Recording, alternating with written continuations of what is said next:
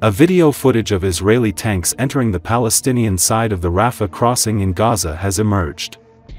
The video also shows other military equipment as well as soldiers moving in the area. Israel took control of Gaza's Rafah border crossing on Tuesday morning after Hamas military group accepted the Egyptian-Qatari ceasefire deal.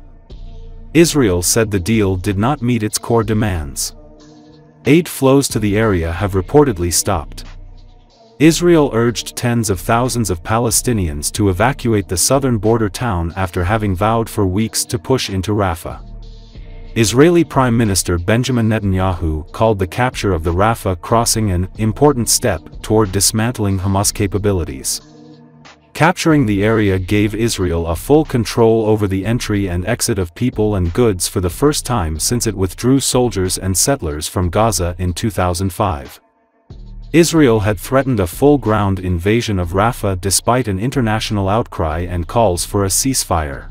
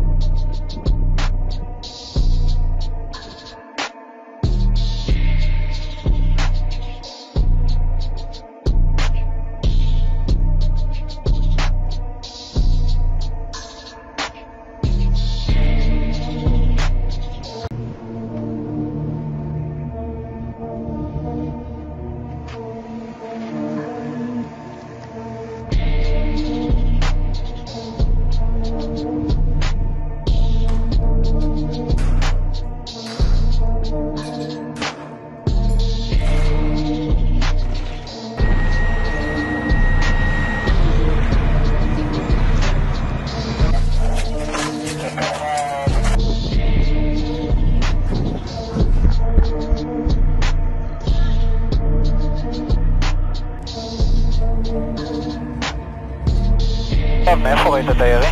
מהמפנה הדרומי, החלון המערבי, הוא בתקשורת מול התפקיד לגרום מעגל. זה מספיק רחוק מהכוחות, מעל 500 מטר ממה שאני רואה. נקודת המחוון כמו שחדירה.